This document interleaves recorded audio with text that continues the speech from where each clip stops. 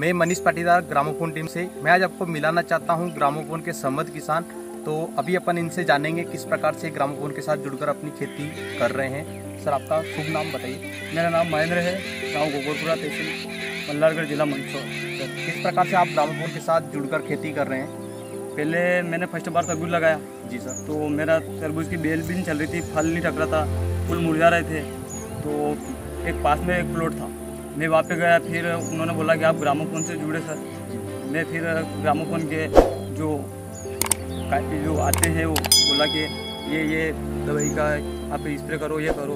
तो मेरे को थोड़ा फ़ायदा हुआ और दवाई भी उचित दाम पे मिलती है।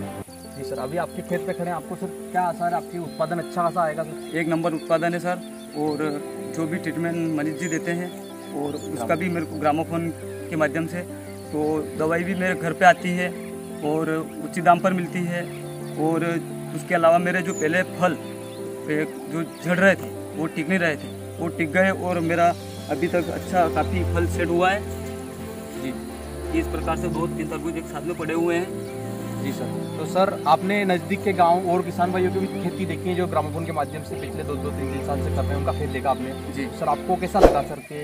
मेरे को एक नंबर लगा और तरबूज का ही नहीं अपन लहसुन प्याज अफीम वगैरह जो भी उचित जो भी अधिहा कि आई आपको कोई सी भी फ़सल की कोई भी जानकारी चाहिए तो आप मेरा यही निवेदन है कि आप ग्रामोफोन से जुड़े और अधिक उत्पादन कमाएँ और अधिक लाभ। किसान भाइयों, अगर आप भी महेंद्र सिंह जी की तरह अपनी खेती को लाभ का धंधा बनाना चाहते हैं तो आज ही जुड़े आप ग्रामोफोन के साथ। ग्रामोफोन के साथ जुड़ने के लिए आप 1800 315 पिछहत्तर चासठ पर मिस कॉल करें।